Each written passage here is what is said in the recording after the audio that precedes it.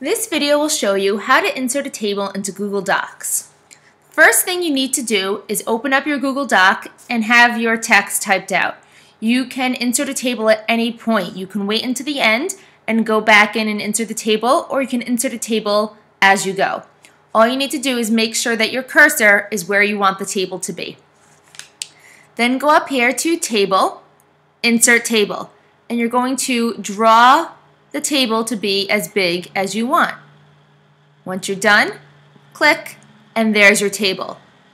Let's say you realize that, oh no, you need another row. Remembering, rows go left to right. You can go to Table, insert a row either above or below where your current cursor is. Then, if you realize you need a column, columns go up and down, you can insert a column to the left or to the right. There's also a lot of other features, including delete rows, delete columns, and also various table properties. This is if you want to get fancy and add colored backgrounds or borders to your tables. I hope this video was helpful.